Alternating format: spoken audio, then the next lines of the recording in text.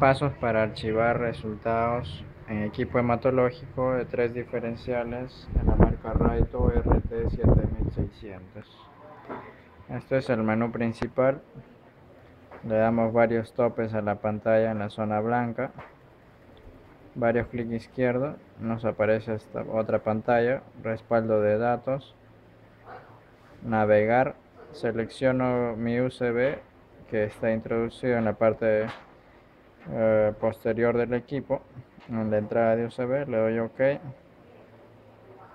Le ponemos un nombre resultados. Es un ejemplo. Aceptar. Me sale copia de seguridad finalizada. Aceptar. Salir. Y si deseo ver explore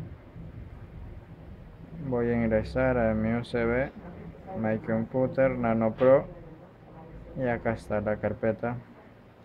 Todo lo que guardo se guarda en, una, en carpetas el nombre que le ponga lo voy a ubicar en el USB listo.